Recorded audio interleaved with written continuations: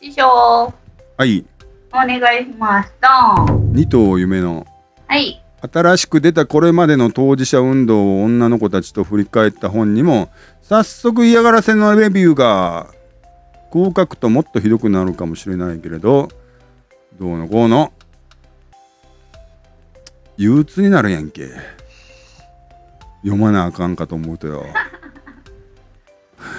読まなあかんかと思うと憂鬱になるやんけ。あ、でもまだこれあれ出てないんでしょ？Kindle 版がまだ出てないんやな。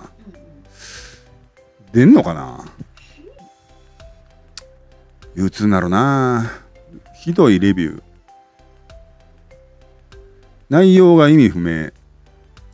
これあれやんな。アマゾンで買ってレビューしてんやったらアマゾンで購入っていうこうマークがつくもんなでこれついてないっていうことはまあほんま読んで他で買って読んでんのかもしれんけどアマゾンでは買ってないんやな。だから実際本当に読んで言ってんのかどうかわからへんよね。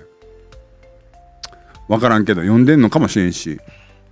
まあなんせまあ俺もさ俺は読んでからああだこうだ言うし夏川の本とか石川さんの本もそうやけどこの二藤さんの本もそう読んでからああだこうだ言おうと思ってるんで俺としても読ま読みもせんのにこうレビューにひどい星一つとつけんのは憤りを感じるね。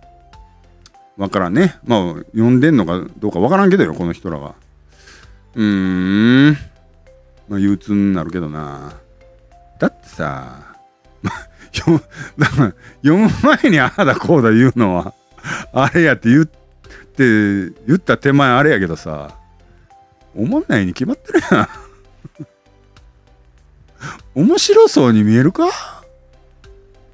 あのさまあええわ読んでから言うわもう。あのー、なあ二藤さんの本も読まなあかんし菱山さんの本も読まなあかんね俺。困ったもんやで。はい。石川さんの本も最終章を読まなあかんねん。困ったもんやで。いい本を読みたい。俺この前さ夢を叶える像の最新作を読んだんや。夢を叶える像を知らんのか。